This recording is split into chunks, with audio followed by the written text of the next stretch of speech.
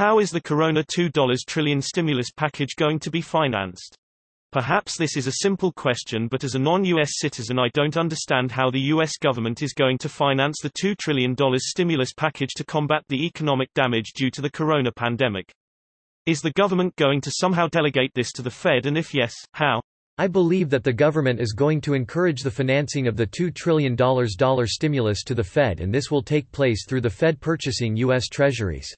It is also in the best interest of the Fed to do so in order to foster the stability, integrity, and efficiency of the nation's economy Federal Reserve Bank mission.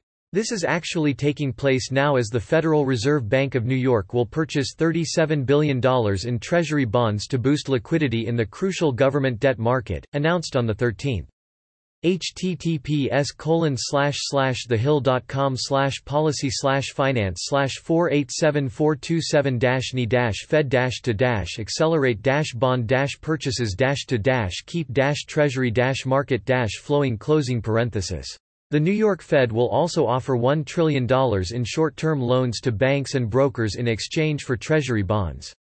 The Fed will eventually be repaid with interest on the loans it offered to banks and brokers in exchange for returning the bonds it purchased.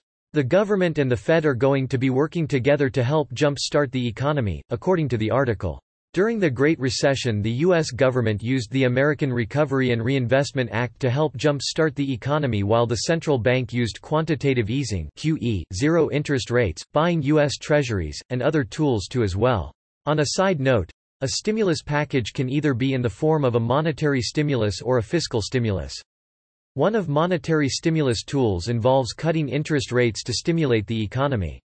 When interest rates are cut, there is more incentive for people to borrow as the cost of borrowing is reduced. Which is what the Fed is doing now.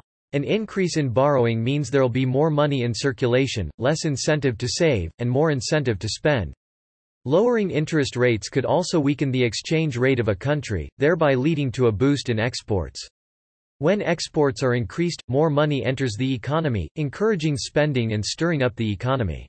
Fiscal stimulus refers to increasing government consumption or transfers or lowering taxes.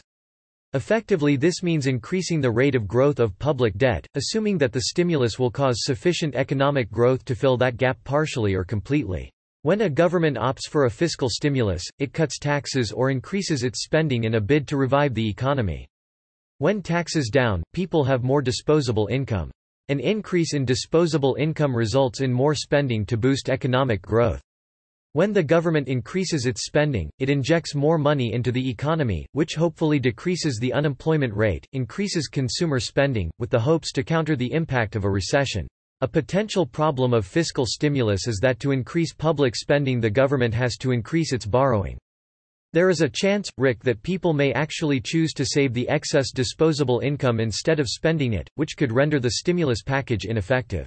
American Recovery and Reinvestment Act ARA, February 2009, is an example of economic stimulus package. It instilled the confidence needed to boost economic growth. It also aimed to restore trust in the financial services industry. ARA cut taxes by $288 billion. It spent 224 billion in extended unemployment benefits, education, and health care.